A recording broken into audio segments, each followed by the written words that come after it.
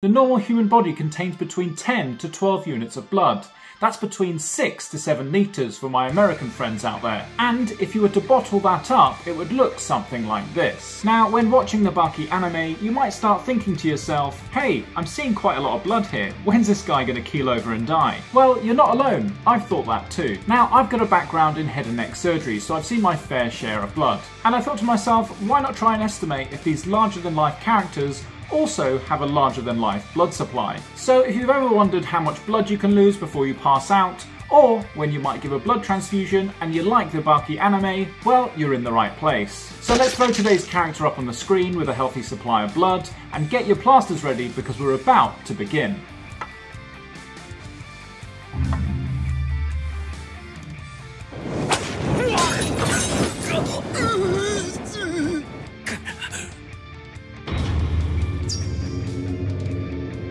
Oh god, a blade straight to the eye here. You didn't see that coming. But realistically, the eyeball doesn't have a massive blood supply. It tends to be supplied by very small capillaries. So you're unlikely to bleed profusely from an injury like this and I'll be more worried about your vision. So I'm going to estimate a blood loss here of anywhere between 15 to 20 mils.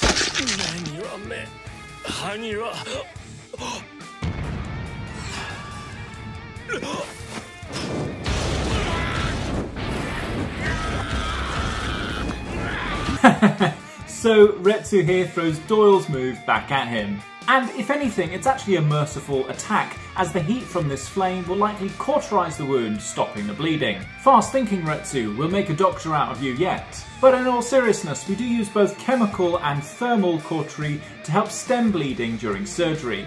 Just don't try this method at home.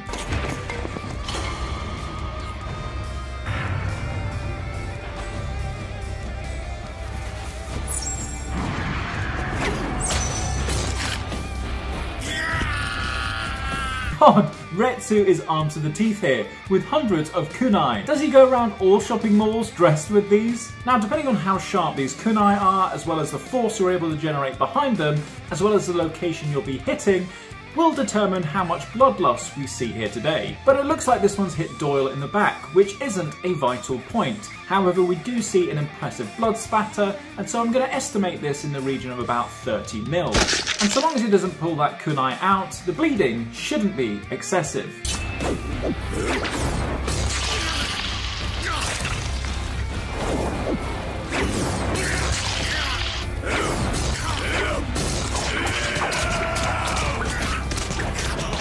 Gosh, and there we see a full barrage of kunai being thrown there by Retsu. But how many has he actually thrown? Well, if we look back in this scene, we can count that there's approximately 32 on his person. Let's say he's thrown them all. Now Doyle is doing the right thing here in curling up. He's protecting his vital organs and vital arteries because realistically, if any one of those structures got hit, you'll be looking at death within minutes. Now let's estimate that each kunai draws 30 mils of blood and there's 32 of them. That's going to come out to a total of 960 mils of blood lost. Now that equates to about 10 to 15% of your blood volume, and it's at this point that you might begin to start to feel more mild side effects such as nausea, anxiousness, and a general sense of unease.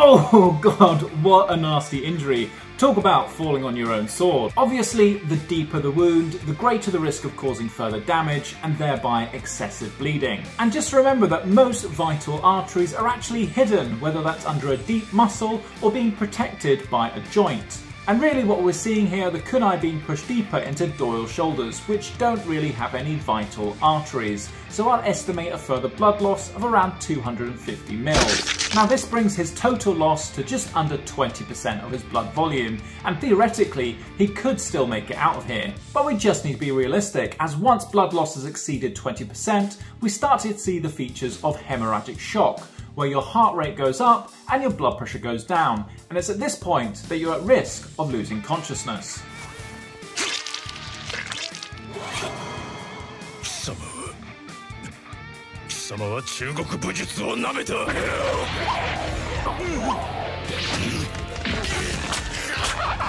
Oh god, a blood snot ball straight to Retsu's eye. I hope he reports that and gets some post-exposure prophylaxis. Who knows what bloodborne diseases Doyle might be carrying? Of course, something like this isn't as bad as blood-to-blood -blood contact, but you're still putting yourself at risk and it's worth talking to your doctor if something like this happens.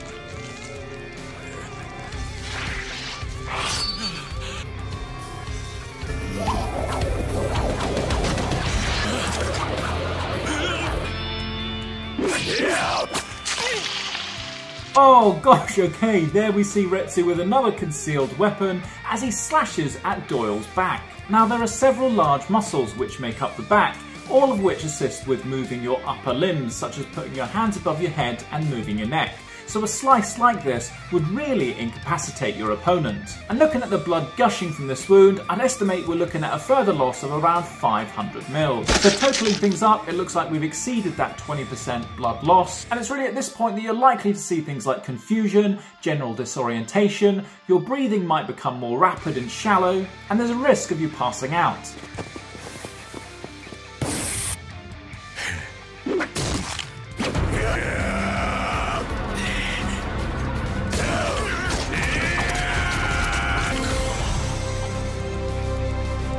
Oh, and then we see Doyle stab Retsu in the upper spine, and with sufficient pressure, he could have potentially severed his spinal cord, leaving Retsu paralysed. However, it looks like the blood loss is beginning to catch up.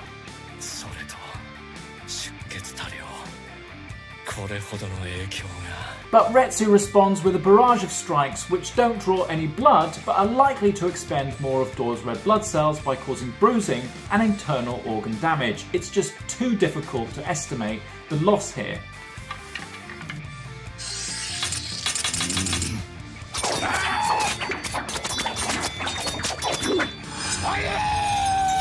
Oh god, he's done exactly what we advise people not to do do not take out the blade. And the reason we advise you not to is really threefold. The first is you might do more damage with removing the blade. Second is the blade often gives us an indication of the depth of the wound and the subsequent damage. And finally, the blade often acts like a plug, preventing further blood loss. Once you remove it, the bleeding accelerates. And now that these kunai have been removed, you're looking at 32 open wounds bleeding freely. And I'd say you're looking at a loss of 5 to 10 mils of blood per minute per wound. So in total, that's around 300 mils of blood loss per minute. Really, at this rate, he'd be dead in about 15 minutes. あと一歩だぜ逆転の可能性は果てしなく皆無ファイヤー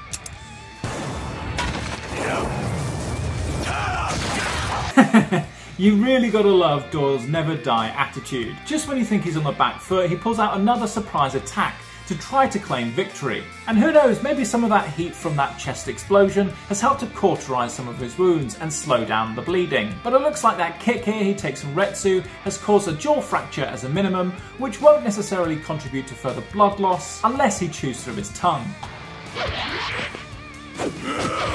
you.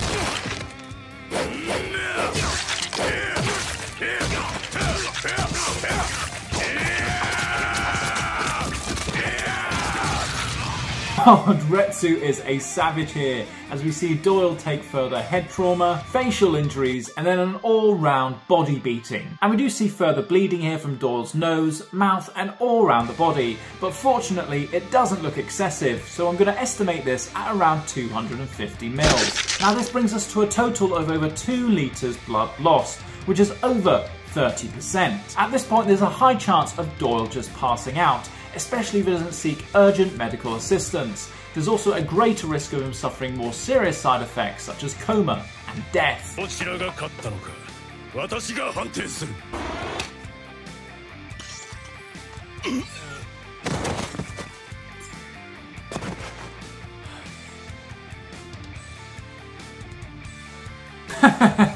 and just like that, he's saved by the bell, with Jack Hanma turning up and injecting Retsu with some sort of anaesthetic.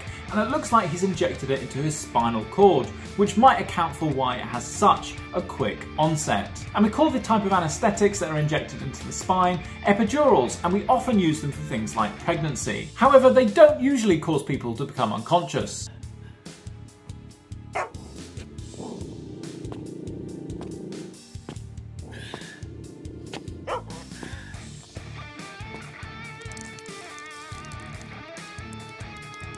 Okay, so here we see Doyle standing there with puddles of blood forming around him. Now let's say he's got to survive the night there, that's another 7 hours on his feet, and he's only got around 5 litres of blood left. Now your body needs around 50% of your blood volume to effectively pump oxygen around your body. Any more than 50% blood loss and your heart just stops pumping, your organs begin to fail, and you go into a coma. So after a little bit of maths, for Doyle to survive the night, the maximum he can afford to lose is 3 mils of blood per minute. And just to put that into perspective, the vials that doctors use to take blood contain 5 mils of blood, so Doyle can only afford to lose about half of that per minute.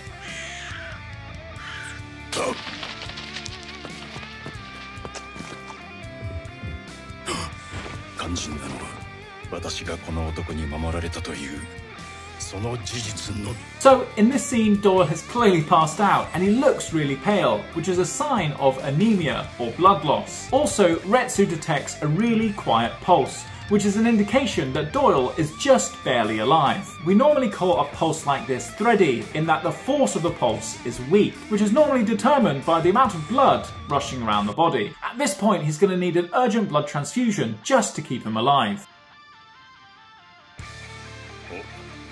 目覚めたか医務室だと言ったな。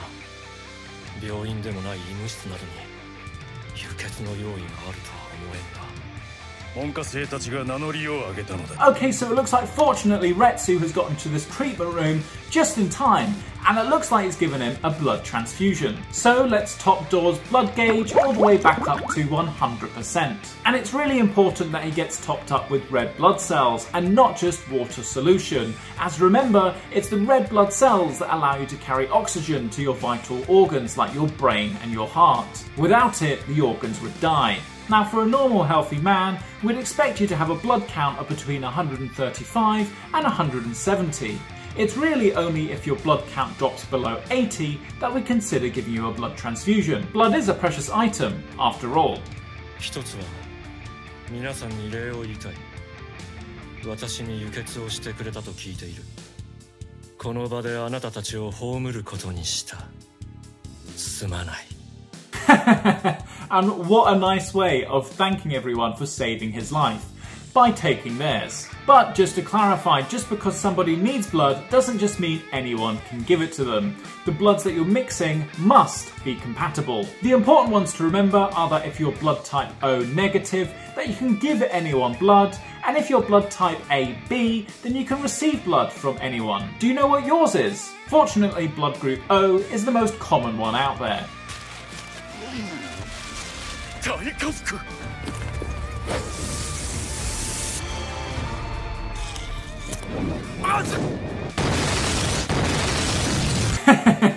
I love the level of preparation here. But just because he's wearing a fireproof outfit doesn't mean that he can survive an explosion. For those who are in the vicinity of that explosion, you'll be looking at them sustaining severe burns, either second or third degree, which can be life-threatening.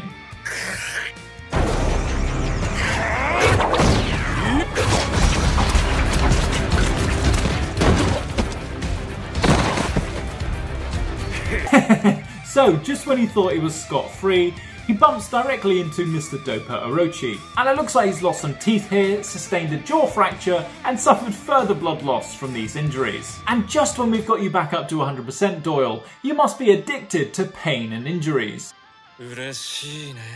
Now he's actually unlikely to have bled out excessively from these injuries, I'd estimate in the ballpark of around 100 to 200 mils. お前さんが目覚めるのをよ敗北認めるかい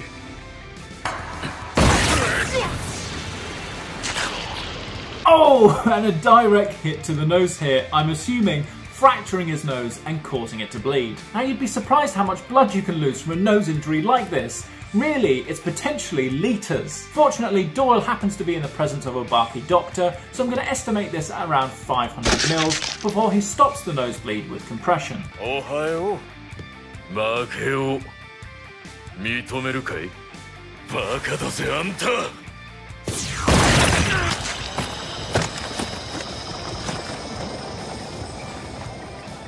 Oh god, and that's probably one of the worst injuries that I've seen in the Bakiverse. I mean, he's punched him in the face so hard that he's caved in his facial bones, and we're looking at a type 3 Le Fort facial fracture. And the problem with injuries like this is that there's a high risk of causing uncontrollable bleeding to the point of death.